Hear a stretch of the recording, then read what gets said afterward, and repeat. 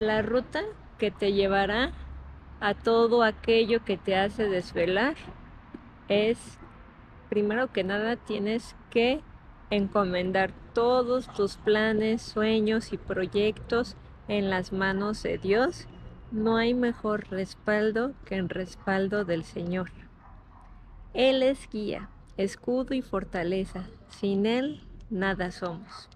No esperes aprobación de todos para iniciarte. Las opiniones pueden ser variadas y buscar consejos siempre es bueno, pero solo tú eres el encargado de tomar la decisión y esa decisión debe estar basada en lo que sueñas ser o alcanzar en lo que Dios te haya mostrado previamente. No busques motivaciones externas o de los demás. Si eres firme en tus convicciones, tu camino no dependerá ni de los aplausos ni de las críticas. Aprende a convivir con la crítica. La gente que critica no son nuestros enemigos. Por lo general proyectan en nosotros su frustración, pero puede servirte para seguir creciendo. La crítica siempre es destructiva, pero sin ella no crecemos. Rodéate de gente que te inspire a ir siempre por más el entorno es clave para aquellos que soñamos con llegar muy lejos. Busca perfeccionarte para ser el mejor en lo que hagas. No basta solo con saber que Dios está con nosotros.